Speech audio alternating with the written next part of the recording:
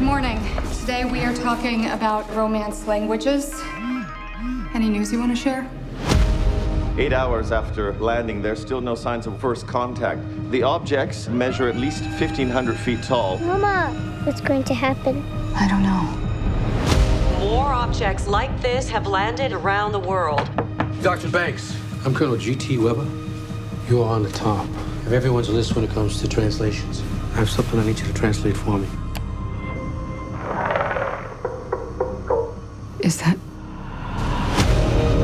Not everyone is able to process experiences like this. When's the last time you did something stressful?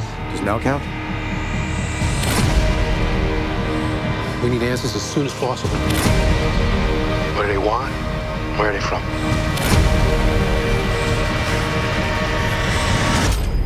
You ready?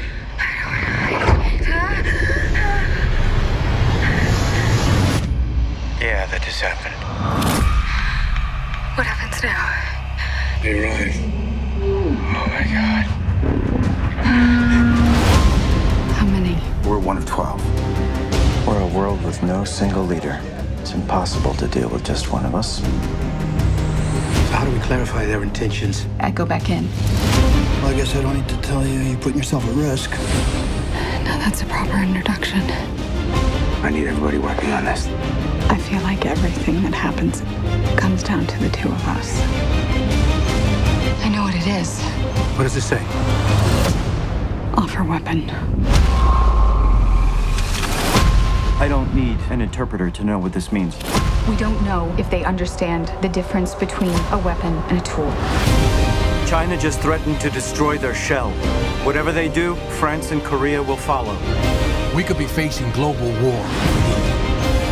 We need to talk to the other sides and work together for once. We have 15 hours before this all goes to hell. Are you dreaming in their language? I know why they're here. What the hell is she doing? You trust me.